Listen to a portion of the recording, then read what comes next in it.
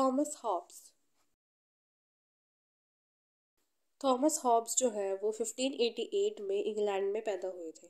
उनकी मैथोलॉजी बहुत सारे फैक्टर से इन्फ्लुएंस थी, जो उन्होंने अपनी लाइफ में एक्सपीरियंस कराया सबसे पहला आता है उसके अंदर इंग्लिश सिविल वॉर उस टाइम पे, जिस टाइम पे वॉर हुई थी सिविल वॉर हुई थी, उस टाइम पे वो एडल्ट लाइफ जी रहे थे अपनी। और ये बेसिकली वॉर जो थी, वो पार्लियामेंट की सपोर्टर और रॉयलिस्ट मतलब जो मोनार्की के सपोर्टर्स के बीच में होती थी। तो उनके बीच में सिविल वॉर हुई। सेकंड आता है साइंटिफिक रिवोल्यूशन साइंटिफिक रिवोल्यूशन से हम समझते हैं कि वो साइंटिफिक मेथड का यूज़ करने के लिए कहते थे, क्योंकि वो गैलरियो से बहुत ज़्यादा इंस्पायर्ड थे और उनकी थ्योरी स्पेशली जो उनकी मोशन थ्योरी थी मैकेनिज्म वाली थ्योरी थी, वो उन्होंने अपने जो थॉट्स थे उसके अंदर उन्होंने मर्ज करी एक तरीके से हम कह सकते हैं। थर्ड आता है एब्सोल्यूट सोवरिन एब्सोल्यूट सोवरिन का मतलब यहाँ पे है कि सोवरिन जो मोनार्क होगा, उसके पास एब्सोल्यूट पावर्स होंगी। मतलब कि जो लवियाथन बुक थी उनकी, बहुत फ़ेमस बुक है, जिसके अंदर उन्होंने बात सोशल कॉन्टैक्ट थ्योरी जिसके अंदर दी है, और एब्सोल्यूट सोवरियन का थॉट उन्होंने उसके अंदर दिया है। अब उनकी बुक्स पे आते हैं तो उनकी सबसे फ़ेमस बुक थी लेवियाथन जो कि सिक्सटीन फिफ्टी में हुई थी, और फिफ्टी वन में वो पब्लिश हुई थी। फिर आता है De Cive De Corpore dialogue of common laws ये कुछ फ़ेमस बुक्स हैं उनकी जो उन्होंने लिखी। ह्यूमन नेचर ह्यूमन नेचर के बारे में उन्होंने बताया कि जो उनकी गैलियो की मोशन या मैटर थ्योरी जो थी उससे रिलेट करके उन्होंने अपने ह्यूमन नेचर के बारे में बताया। उन्होंने कहा, जैसे यूनिवर्स जो है मैटर से बना है, वैसे ही इंसान, एक ह्यूमन बींग जो है, वो भी मटेरियल बॉडी से बना है। उसका माइंड जो है, उसका ब्रेन जो है, वो मैटर से कंट्रोल होता है और जो मैटर है, उसके दो इमोशन होते हैं, जो हमारे माइंड के अंदर होता है। एक है एपिटाइट और दूसरा है अवर्जन अगर हमें हॉब्स का नेचर मतलब ह्यूमन नेचर पढ़ना है, सबसे पहले हमें जानना होगा गैलीलियो ने क्या कहा है इमोशन के मैटर के बारे में। तो उन्होंने कहा है यूनिवर्स जो है मैटर उसके अंदर होता है मतलब मैटर से बना है यूनिवर्स और मैटर पार्टिकल से बना है, जो हमेशा मोशन में होते हैं। और जो संभालता कौन है, जब तक कोई एक्सटर्नल फोर्स उस पर ना लगे तो वो संभलती नहीं है। ऐसे उन्होंने कहा कि ह्यूमन बिहेवियर जो है, वो ह्यूमन माइंड से कंट्रोल होता है। मतलब ह्यूमन माइंड से बना। है ह्यूमन माइंड जो है, वो पार्टिकल से बना है, जो हमेशा मोशन में होता है। और हमारे माइंड में दो मोशन है मतलब ब्रेन के अंदर दो मोशन होते हैं। एक एपिटाइट दूसरा एवर्जन जो हमारे ब्रेन को कंट्रोल करते हैं। तो एपिटाइट का मतलब क्या? प्लेजर सिकिंग जो डिज़ायर्स है आपके एवर्जन का मतलब पेन अब हमने ह्यूमन नेचर तो पढ़ लिया। ह्यूमन उस टाइम पे कौन से नेचुरल स्टेट में रह रहा था, हम अब वो पढ़ेंगे। स्टेट ऑफ़ नेचर और उसमें कौन से नेचुरल राइट्स थे उस टाइम पे, वो हम पढ़ेंगे। तो स्टेट ऑफ़ नेचर उन्होंने बोला स्टेट ऑफ़ वॉर की कंडीशन को, कि स्टेट ऑफ़ नेचर हॉब्स का जो है, वो स्टेट ऑफ़ वॉर की कंडीशन को डिस्क्राइब करता है, कि हमने बताया कि अभी दो मोशंस होता है, दो इमोशन थे ह्यूमन ब्रेन के अंदर ह्यूमन के अंदर। एक था एपेटाइट दूसरा एवर्जन तो यहाँ पे बताया गया है, वो चेन जो है कंटिन्यूस चलती रहती है।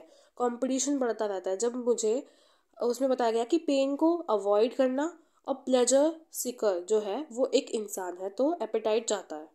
तो हॉब्स के स्टेट ऑफ़ नेचर में बेसिकली ये बोला गया है कि इंसान जो है, वो एपेटाइट चाहता है। मतलब ऐसी चीज़ें, ऐसा डिज़ायर उसके अंदर जो उसे प्लेजर दे, उसको सेटिस्फाई करे, उसकी नीड्स को फुलफिल करे, वो पेन को अवॉइड करता है। तो यहाँ पे वो चेंज चलती रहती है। अब मैं एक स्टेट ऑफ़ नेचर में रह रही हूँ, मैं एक इंसान हूँ। मुझे चाहिए कि मुझे सिर्फ़ और सिर्फ़ सेटिस्फैक्शन मिले प्लेजर मिले, मैं ऐसी चीज़ें करूँ।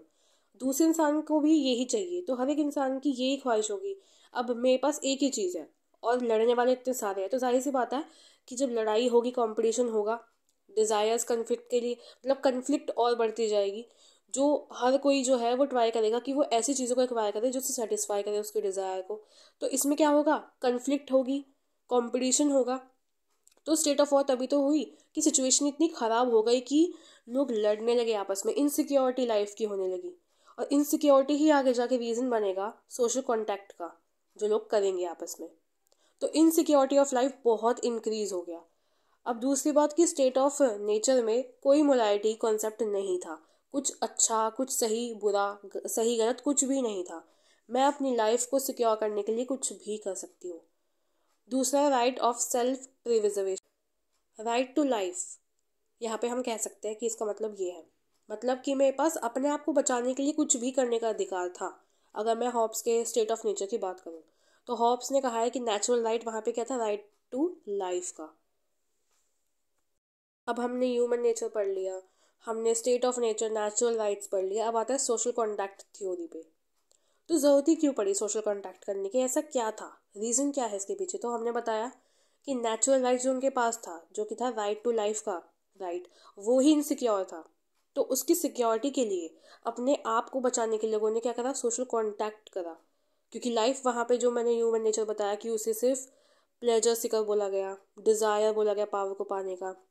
तो उनकी लाइफ जो है नेस्टी हो गई थी। शॉर्ट हो गई थी क्योंकि उनके पास लाइफ को बचाने के लिए कोई ज़रिया ही नहीं था तो उन्होंने सोशल कॉन्टैक्ट करने की सोची। अब आता है टर्म्स और कंडीशंस। मतलब अगर मैं सोशल कॉन्टैक्ट कर रही हूँ तो क्या टर्म्स और कंडीशंस तो कुछ होंगी?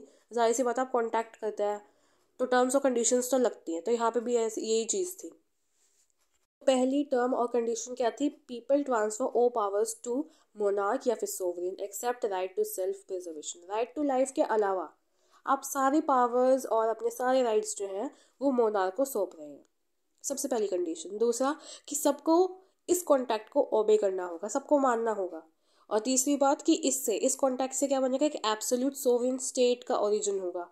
उसका स्टैब्लिशमेंट होगी। मतलब आप अपने सारे राइट्स मोनार्क या सोवरियन को दे रहे हैं, लेकिन सिर्फ़ एक राइट के अलावा सारी पावर्स आप उसको दे रहे हैं। अब आता है कि कंडीशंस पता चल गई रीज़न पता चल गया। तो इसका रिज़ल्ट क्या हुआ? सोशल कॉन्टैक्ट का रिज़ल्ट क्या होता है? अब हम वो जानेंगे। तो पहला पॉइंट है क्रिएशन ऑफ़ कॉमनवेल्थ या स्टेट स्टेट का ओरिजिन यहाँ पे बताया गया कि इस तरीके से हुआ। सेकेंड आता है स्टैब्लिशमेंट ऑफ़ एब्सोल्यूट सोवरियन या मोनार्क मैंने अभी बताया कि आप एब्सोल्यूट सोवरियन का स्टैब्लिशमेंट कर रहे हैं। और तीसरी बात राइट ऑफ़ सेल्फ प्रिजर्वेशन जो बताया कि इकलौता राइट लोगों के पास हॉबिन नेचुरल स्टेट के बाद जो उन्होंने सोशल कॉन्टैक्ट करा, उसके अंदर क्या रह गया कि सिर्फ़ एक राइट के अलावा उन्होंने सारी पावर्स जो है वो मोनार्क को दे दी और वो राइट क्या था? राइट टू लाइफ का। लास्ट पॉइंट आता है क्रिटिसिज्म इस थ्योरी का क्रिटिसाइज भी तो करेंगे। हर थ्योरी में कुछ सही, कुछ आपको अलग चीज़ें मिलेंगी। तो पहला क्रिटिसिज्म ये बनता है कि हॉब्स ने ह्यूमन नेचर के बारे में जो बताया, उसकी सिर्फ़ बैड साइड या एक इवल साइड बताई कि ह्यूमन नेचर जो है एपेटाइट को ज़्यादा मानता है और अवॉइड करता है पेन तो ये एक पॉइंट बन सकता है क्रिटिसिज्म का. दूसरी बात कि कोई मॉरल स्टैंडर्ड्स ही नहीं है उनके नेचुरल स्टेट में, जो कि हमने बताया कि डिज़ायर सिकर था, उसे सिर्फ़ और सिर्फ़ ऐसी चीज़ों से लगाव था जो उसके प्लेजर को पूरा करे. तो कोई मोरालिटी ही नहीं थी. सही गलत का उन्हें पता ही नहीं था. तीसरी बात आती है इन प्रैक्टिकल अप्रोच कॉन्टैक्ट की. ये कहा गया कि मतलब जब लोग इतने ज़्यादा उलझे हुए थे अपने डिज़ायर को फुलफ़िल करने के लिए तो उन्होंने ऐसी सोच कैसे रख ली? कहीं ना कहीं ये अप्रोच जो है थोड़ी इनप्रैक्टिकल लगती है कुछ लोगों को तो मतलब कुछ व्यूअर्स को, कुछ एनालिसिस्ट को। तो हम कह सकते हैं कि ये एक क्रिटिसिज्म का पॉइंट है। तो ये पूरी वीडियो थी हॉब्स के सोशल कॉन्टैक्ट थ्योरी पे। थैंक यू अगर आपको पसंद आया तो प्लीज़ चैनल को सब्सक्राइब करें वीडियो को लाइक करें और कमेंट करें और शेयर करें।